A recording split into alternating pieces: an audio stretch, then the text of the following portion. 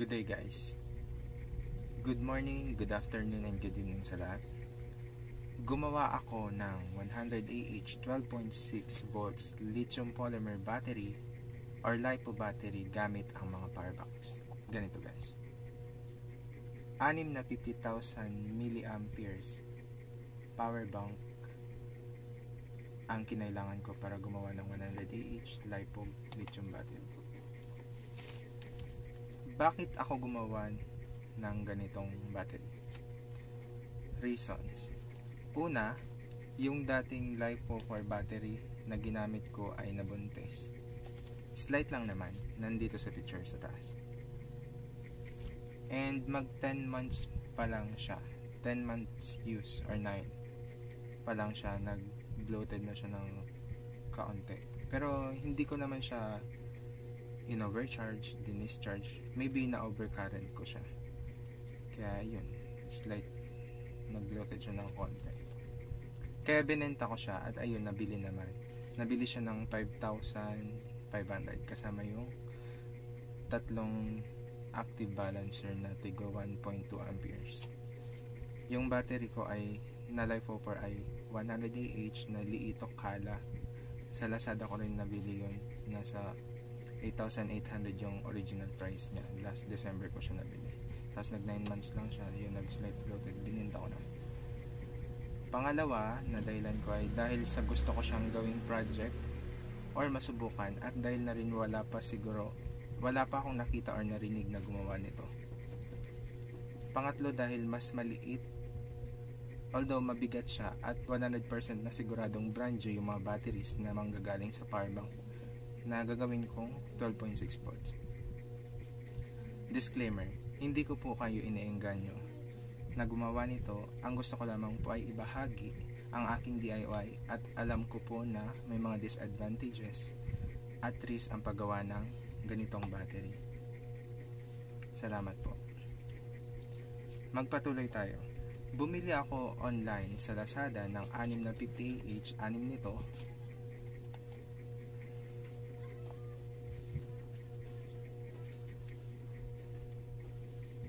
anim na power bank ang price niya po ay nasa 1,100 pesos bawat isa. Hindi pa kasama yung shipping. Pero nabili ko po siya ng 885 pesos lang bawat isa.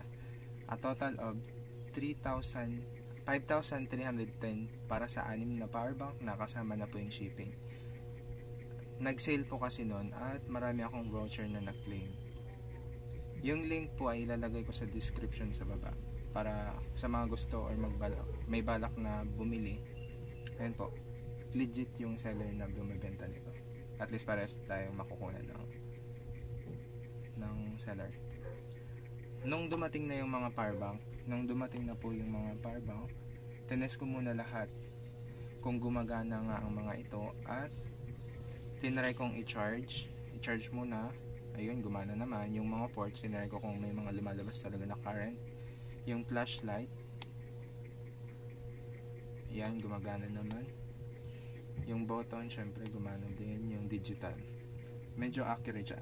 At tigit sa lahat guys yung itong power bank na to is fast charging. Meron siyang capability na maglabas ng volts na 5 volts, 9 volts, and 12 volts.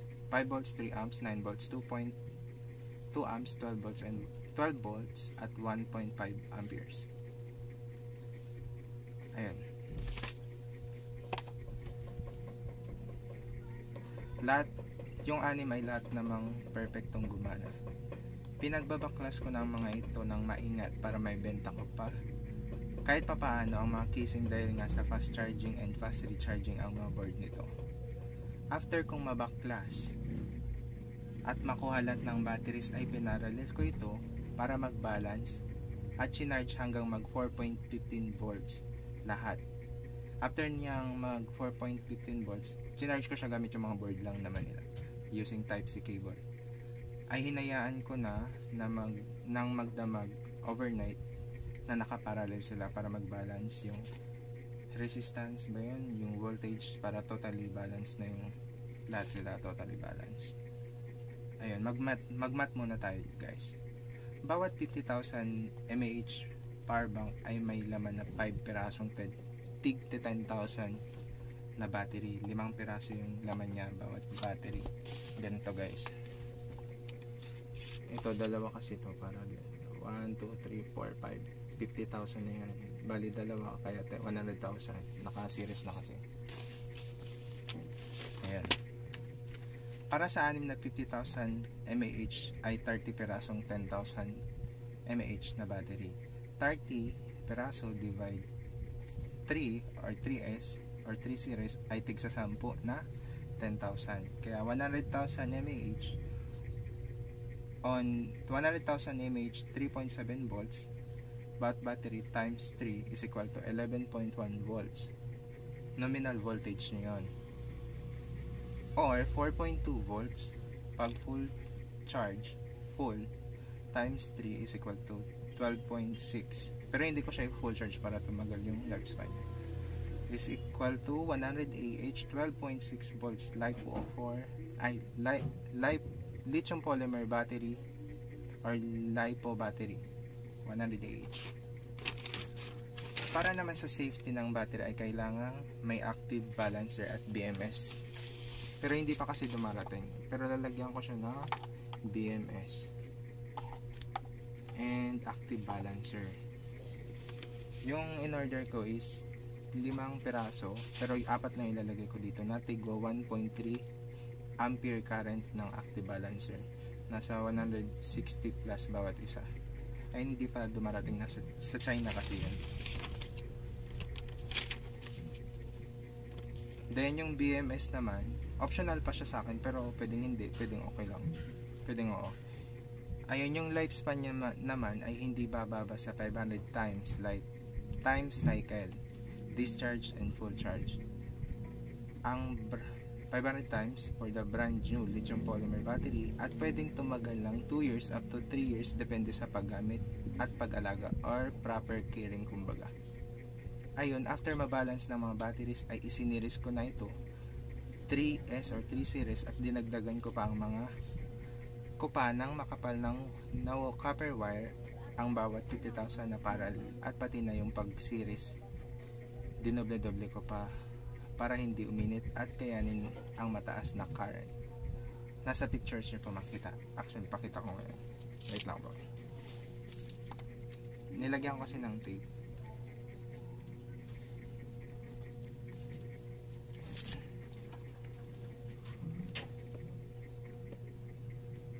ganyan guys. Wait hindi makita. Basta ganyan. Mamaya ay sa backcam papakita ko po. Para naman sa main positive and negative ay gumamit ako ng 12 gauge silicone wire. Flexible standard copper wire. Yung white yung white wire yung loob yung nasa loob is white. Yung parang silver. Na kayang mag-handle ng 20 ampere current. Don't worry guys. Mababa lang naman po yung mga load ko. Ceiling fan, TV, ref 300 watts. Pero hindi naman sabay-sabay. 25 watts yung TV namin. Yun ang setup ko guys ay dalawang panel. Isang 300 watts at isang 320 watts na naka-series. Kaya umaabot ng 75 watts ang solar panel namin. Meron akong 40 amperes na SRNE MPPT. In-adjust ko na yung setting para sa lithium polymer battery. 12.6 volts full charge.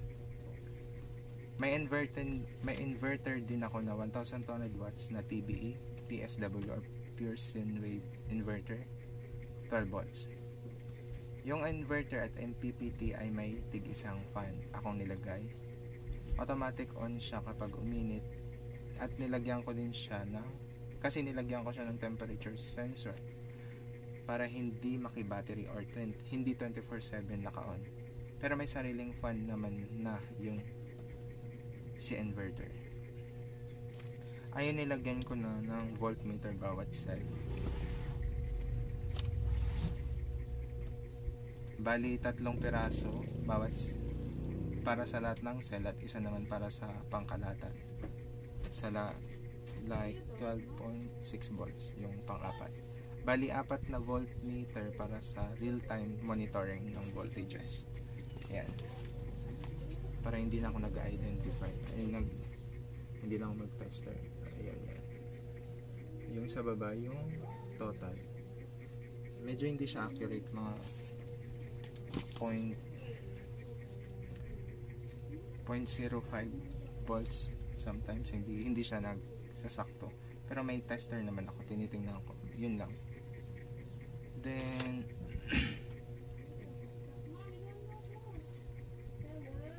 pag may pera ako pag nakaluwag-luwag bala ko pang dagdagan yung battery ng 50 ah or 3 pieces 50,000 mAh power banks pa para maging 150 ah 12.6 battery na siya. Ganun din yung mga wires sa doblen ko kasi pang 20 amperes lang yung wire. Pag ginable ko, maybe kahit 30 na lang, no? 30 amperes, pwede ko siyang gamitan ng 30 amperes. Ayun, yung light lithium polymer battery guys, is hindi siya recommended for high C current. Ano lang, yung C rate niya is 0.2 C lang. Like, 10,000 mAh na battery, ang kaya niyang ibigay na current sa atin is 2 amperes lang hindi ka pwede mag-pull ng 1 C rate or 10 amperes sa isang battery. Kaya itong 100 AH capacity na ginawa ko ang kaya lang ma-pull dito na current is 20 pwede naman masagad pero 20 lang yung recommended para tumagal yung buhay ng battery. Tapos ito guys ito yung natira na nilagyan ko siya ng battery sa loob ng yung battery yung power bank ko dati na 30 AH 30 bali tatlong tig 10,000 na battery nilagay ko sa loob. Kasi yung battery nga nito nandun sa ginawa kong ginawa kong 100 sa power bank and guys papakita ko yung battery sa back cam.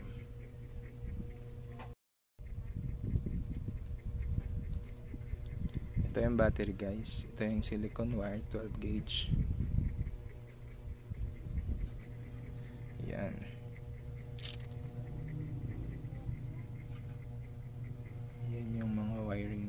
nilagyan ko na kasi ng masking tape para hindi siya mag-short kung sakal or hindi siya magdikitan kung may makalagay. May mapatong man akong bakal. Yan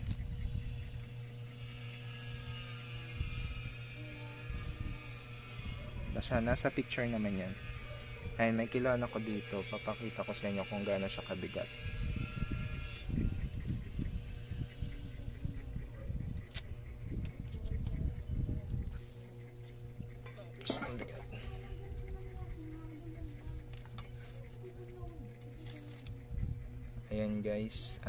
5 kilos and 3 fourth yung bigat niya. 5 and 3 fourth kilos. Ayan guys. Yan yung system namin. Bali nilagay ko na yung battery. Yan. Bali may 19 amperes na pumapasok doon sa battery yan yung MPPT ko 40 amperes. Then yung inverter inalis ko yung takip para hindi masyadong uminit. Tapos may fan sila bawat isa. Tsaka temperature temperature sensor automatic on. Tapos ito naman yung fan dito sa baba. Tapos temperature sensor automatic on pero may fan naman na yung inverter. Yeah. at yun po yung 100Ah 12.6 battery. Mag subscribe po kayo sa aking channel. Salamat. And click the bell button para sa notification and ma-update kayo sa mga videos na gagawin ko at mga gagawin ko pa. Salamat po